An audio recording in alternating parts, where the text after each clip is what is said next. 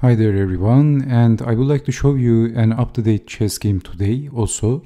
So in this chess game uh, this is actually a, a very uh, this is from a very important chess tournament from the World Championship candidates uh, from the candidates chess tournament from 2024 which is an ongoing chess tournament and so this is an up-to-date chess game. So in this chess game we have Alireza Firouzja with the white pieces, a former Iranian chess grandmaster uh, and right now representing France, and his opponent, D. Gukesh from India. Both chess players are very young, rising superstars of chess.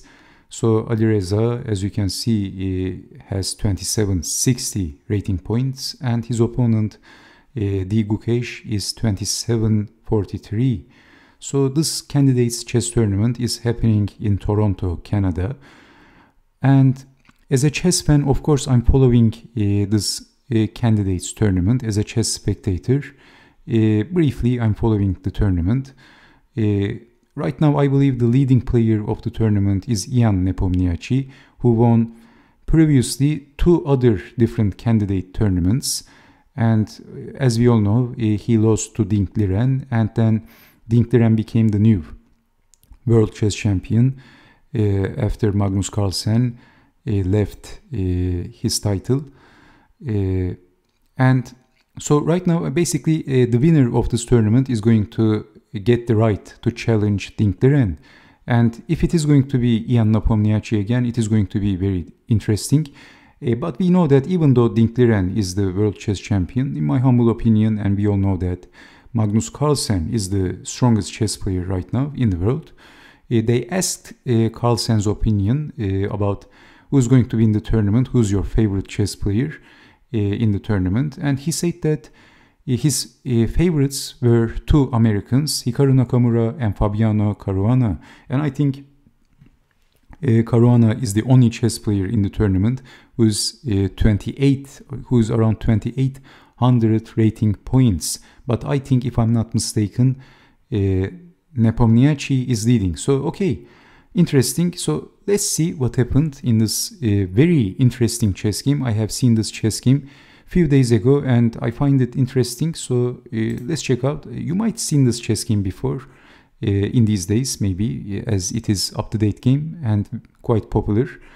So okay, uh, starts the game with d4, knight to f6, bishop to f4. We have the London system, Indian uh, against London. So developing the pieces, uh, I will show this chess game briefly. I don't want to make very deep commentary uh, because it is going to be boring. So developing the bishop, lifting the rook up as you can see by Firouzja, h5, h6, stopping the pawn. So asking a question, exchanging the bishops and white is going to castle I mean height is king with moving the king. So moving the king, black castled, queen over, and we have knight in, capturing and capturing back with the pawn and removing the knight. And then rook over, obviously a very basic threat, bishop takes pawn is possible because this pawn is going to be pinned. So we have king over, unpinning, and then a5. And we have queen back, sacrificing a pawn, and then pushing the pawn, but this pawn can't be accepted because of queen takes knight. So we have rook over and then queen uh, rook over, defending the queen, and then sacrificing uh, one more pawn. First of all, uh, attacking the rook, so defending, and so sacrificing the pawn. This is what I was trying to say. So black accepted, but this opened the b file, so white can attack we have c takes on d5 and it is black to move. So, okay. Okay, so this is the critical moment of this chess game. Uh, D. Gukesh decided to sacrifice his knight because this knight is going to be pinned. And this was a radical decision. So after king takes on f2, rook takes on d5, and it looks like uh, this knight is pinned. So if you move the knight, uh, rook takes queen. So we have rook to e4, increasing the pressure, defending the knight with the bishop, but attacking one more time. And how to defend the knight? If moving the knight, rook takes queen. So in this position, if Firouzja found the best move, what is the best move? What would you do in this position if you had the white pieces? Okay, queen to b3. Did you see this move? Well, after queen takes, knight takes, what else? And then bishop takes on e3 and after rook takes on e3, unpinning the queen and well, white is a piece up, but actually this is quite logical for black because black has three extra pawns for a piece and two connected outside pass pawns. So it looks very logical for Gukesh. Very exciting chess, pushing the pawn and the pawns are marching full steam ahead. Knight to c5, rook over rooks are much better behind the pawns. But after knight to d7, black is running into a problem. Well, in this position, uh, Gukesh uh, needed to keep his eye open for the tactics. And I heard that he was having some time problem. Uh, there was some time pressure. And he played king to h7 in this position. Well, why not pushing the pawn? What would you do in this position if you had the white pieces? Guess the next move of white.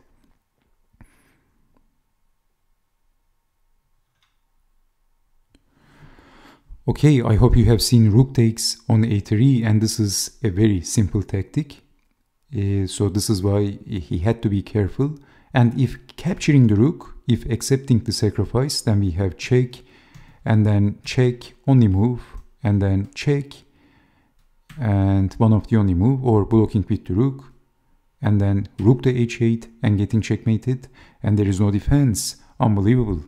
So Gukesh, who was suffering because of time pressure, he actually made some miscalculations. So king to h7, uh, black realized that. And then rook to f3, attacking the pawn. And you can't push the pawn because of knight takes uh, with check and this pawn is pinned. So a3, but then rook takes on f7 and threatening check. And actually there is no defense here. Unbelievable.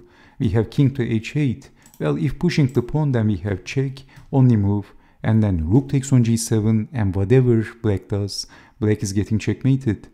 So black can throw some checks, but it doesn't matter, uh, promoting the queen and getting checkmated. So rook takes on f7, uh, Alireza is winning very easily. So we have king to h8 and then knight to f8, knight back is possible. So we have a2, we have check, and after this move, Gukesh resigned. Unbelievable at top level chess competition.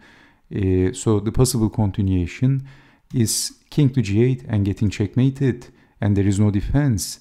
Or if king to h7, then rook takes on g7, checkmate.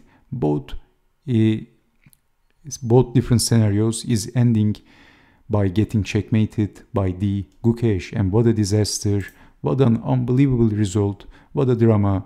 Well, Gukeshti lost pretty badly. They say he was suffering because of time pressure, so that was the problem. And what an incredible victory by Alireza Firouzja uh, from France. Okay, so I hope to see you next time with more interactive chess games. Uh, maybe from this tournament as well if you liked it and if you want to see more games from this tournament you can type it in the comment section and let me know so uh, you can also like the video and let me know with liking the video that will also send the message to me. So stay safe, take care, and bye bye.